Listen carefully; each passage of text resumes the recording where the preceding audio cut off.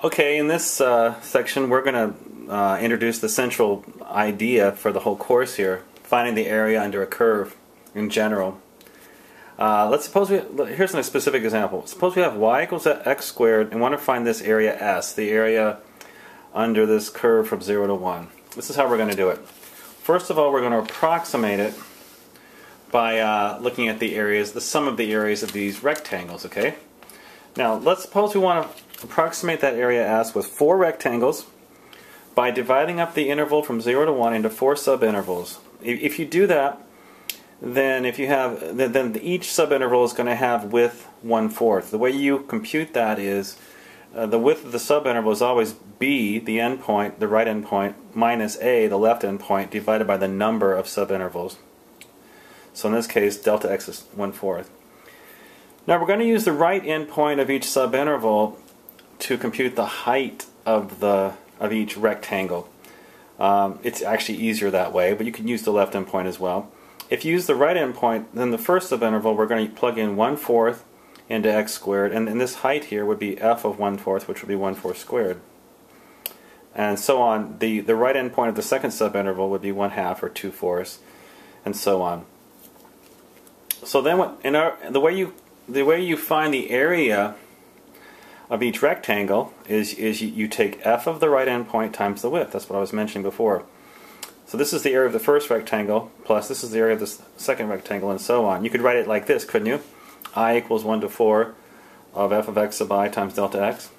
Now in this specific example, since, x, since x1 is 1 fourth, you get 1 fourth squared times 1 fourth. This expression represents the area of the first rectangle, Similarly, this expression represents the area of the second rectangle and so on. So, so that could be written in general you, in our summation notation, or sigma notation, i equals 1 to 4 of i over 4 squared times 1 fourth. Anyway, if you were to compute that, you get 0.46875. Now again, this is called r sub 4. If you use if you use the left endpoint of each subinterval instead of the right, we'd call that L sub 4. So x sub 1 would be 0, x sub 2 would be 1 fourth, and so on. And your answer would be a little bit different, wouldn't it? Let's continue. Let's refine our estimate now. Instead of using 4 subintervals, let's use 8. And we're going to continue to use the right endpoint, okay? So if you're going to use 8 subintervals, then each subinterval is going to have with b minus a over n still, 1 minus 0 over 8 becomes 1 eighth. Makes sense. And if you're going to use the right endpoint of each subinterval, the right endpoint of the first interval is 1 eighth, the right endpoint of the second interval is 2 eighths. Again, these are the numbers that we're going to plug into the function to get the height of the rectangle. Alright, so the first rectangle is going to have area, the, the height is going to be f of x1 and the width is going to be delta x. The area of the second rectangle, the height is going to be f of x2 and, and, the, and the width is going to be delta x. So this is the area of the second rectangle and so on. You could write this in sigma notation also. The sum of the areas would become the sum i equals 1 to 8 of f of x sub i times delta x. And in this specific example, it's a little bit messy. Let's see. The sum of the, the first rectangle, remember, it's going to have area 1 8 squared times 1 8, height times width. The second rectangle is going to have area 2 8 squared times 1 8 and so on. That could be written as the sum i equals 1 to 8 of i over 8 squared times 1 8. Anyway, if you were to add those up, you would get um, 0.398. Are you surprised that um, that that sum is actually quite a bit less than the first one? Uh, the reason is because if you look at the when you only had four rectangles, see all this error here? There's a lot more of this error here than there is here. So you would think it would be less. Anyway, this chart really says a lot. As you increase the number of rectangles, with right rectangles, notice how the sum of the areas becomes less. In fact, it looks like it's getting close to one third, doesn't it, as n gets large? Now, if we were to use left rectangles instead of right, we'll do some of that in the next video.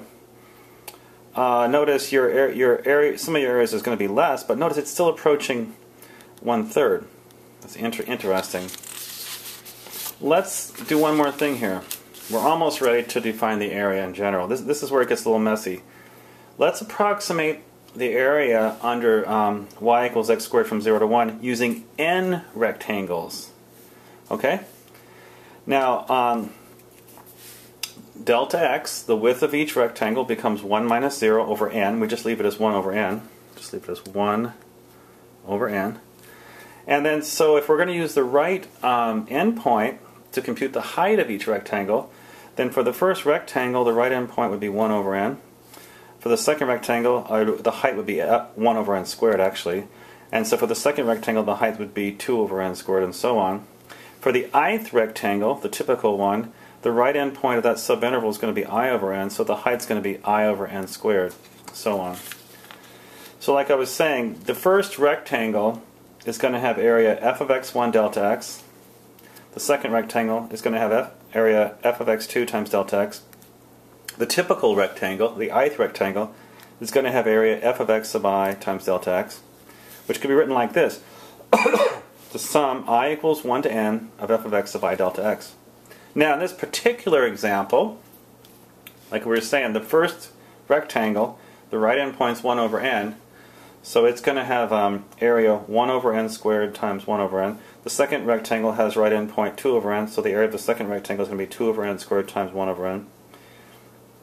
The typical ith rectangle, since the right end point is i over n, you get i over n quantity squared times 1 over n. And the last one's going to, right endpoint is going to be 1, so it's 1 squared times 1 over n. So, so, so the sum of the areas of the rectangles can be written like this uh, i equals 1 to n of i over n squared times 1 over n. Now we, we, can, we can simplify this from what we talked about last time, properties of sigma no notation and summations.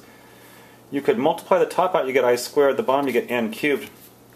Now remember you could, you could take the n cubed out, because it, it's really a constant as far as i is concerned, it's a constant.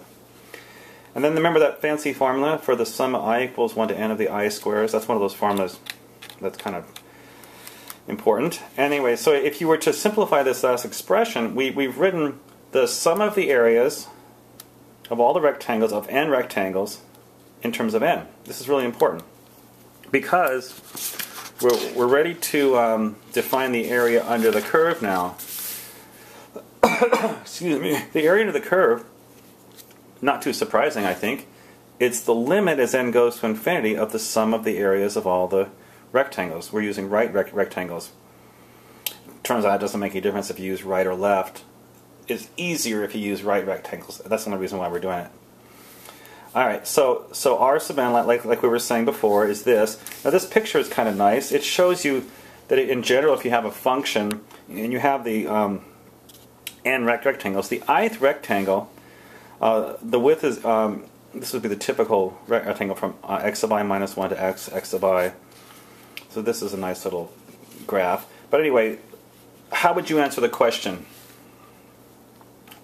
How would you answer the question now? How would you find the exact area under the curve of f of x equals x squared from 0 to 1? Well, it's the limit as n goes to infinity of r sub n. So what, what is the limit as n goes to infinity of this ex expression?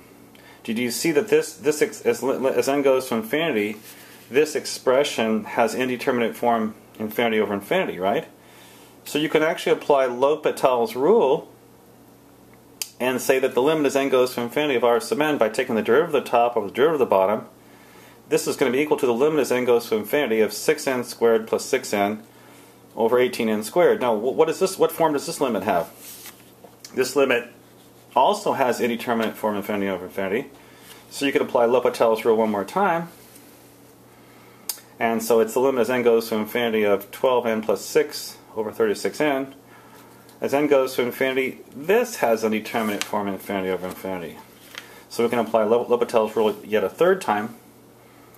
And then this becomes the limit as n goes to infinity of 12 over 36, which is one third, which is what the chart seemed to indicate, right? So we've th this is how we're going to do it. We're going to we're going to um, find an expression for r sub n uh, the sum of the areas of the rectangles in terms of n, that, that's the hard part.